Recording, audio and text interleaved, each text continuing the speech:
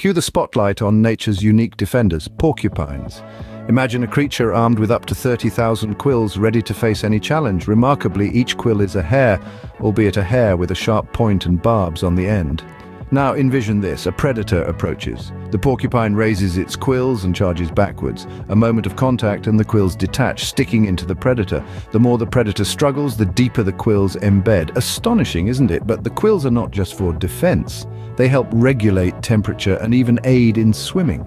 With a lifespan that can reach 20 years, these spiky stalwarts truly are a testament to nature's ingenuity. Hash porcupines, hash wildlife, hash animal facts. Stay curious and join us again as we unravel more fascinating insights.